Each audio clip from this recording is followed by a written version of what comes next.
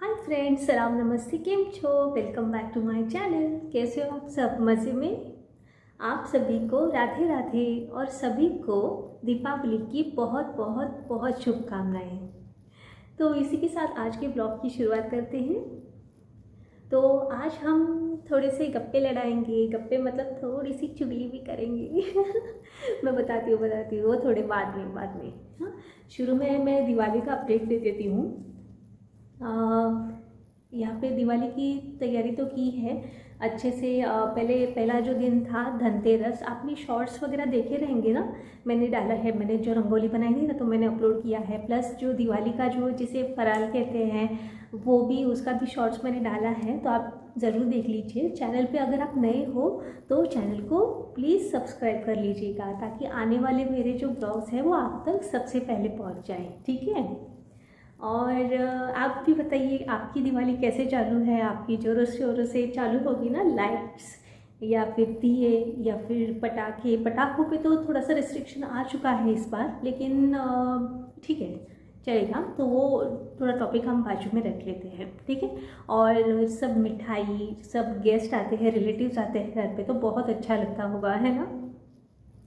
और इस जो फेस्टिवल में है ना, वो और एक, जो मेन किरदार जो निभाते हैं ना, वो होते हैं पड़ोसी। हाँ जी, पड़ोसियों का भी एकदम अहम रोल होता है। मतलब आप अगर कोई भी फेस्टिवल अगर मना रहे हो ना तो रिश्तेदारों से पहले पड़ोसी रहते हैं। तो अगर हम मिलजुल के एक साथ रहेंगे या फिर एक दूसरे को समझ के रहेंगे तो वो अच्छा रहता है कभी भी। क्योंकि आज एक ऐसा इंसिडेंट हो गया ना Uh, क्योंकि मे, मेरे साथ नहीं दूसरी मेरी जो एक फ्रेंड है ना अभी उसका कॉल आया था। तो मैंने सोचा कि हाँ यार क्यों ये मतलब ये टॉपिक पे भी बात होनी चाहिए है ना? ताकि आपके साथ भी अगर ये हो रहा है तो वो नहीं होना चाहिए राइट तो मेरी जो फ्रेंड है उसका नाम है रूबी।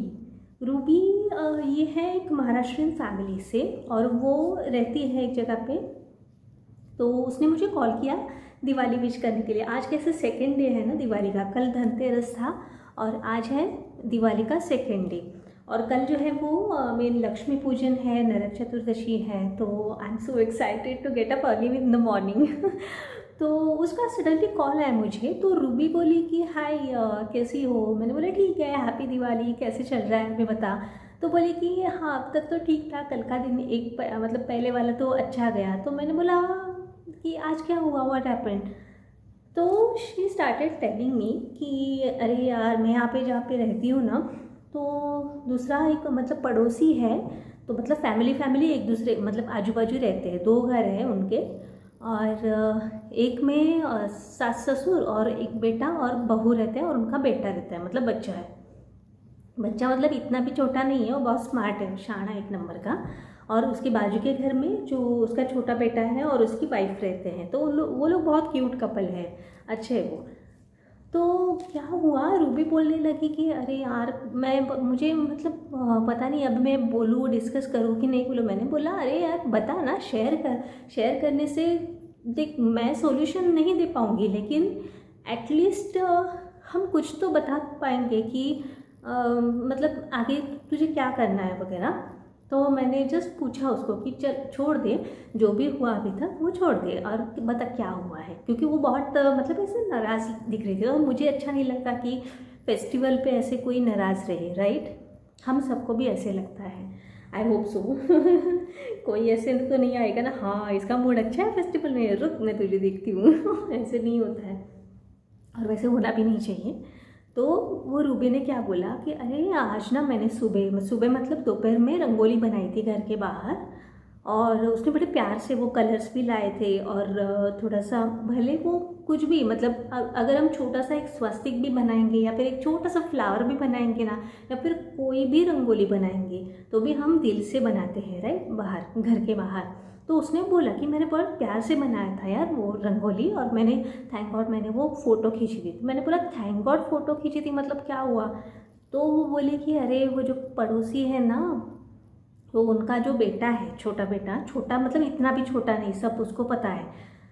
तो वो आके ना हर किसी के घर की जो रंगोली है ना, वो ऐसे पैरों से मिटा रहा था।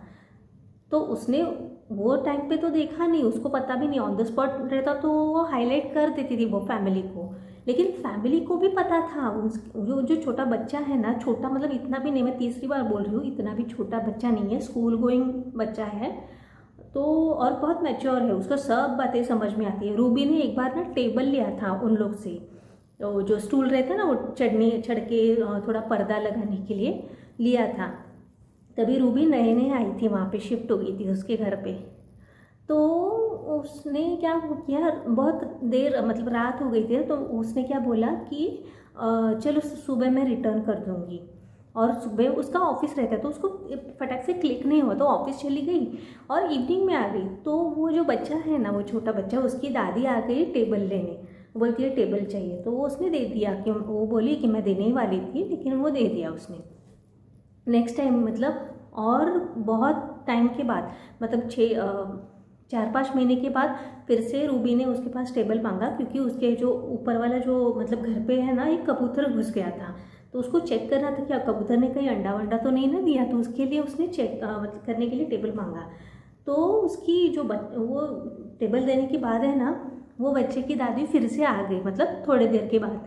वो बोलती है कि नहीं, वो बच्चा बोल रहा है कि अरे, वो रूबी दीदी है ना, वो जल्दी से अपना टेबल नहीं देती है, वो जाके लेके आओ। अरे, मुझे बताओ, अगर इतना ही ना समझ बच्चा है तो ये चीज़ चार पाँच महीने के बाद उस बच्चे को कैसे दिमाग में रही, जो रूबी बोल रही थी कि मैंने जो टेबल लिया था, वो उस बच्चे को अच्छा है? या फिर ऐसे हो सकता है कि दादी उसका नाम लेके तुमको सुना रही है? ऐसे भी हो सकता है। मतलब मुँह पे बोलते हैं मीठे मीठे बोलने वाले लोग रहते हैं।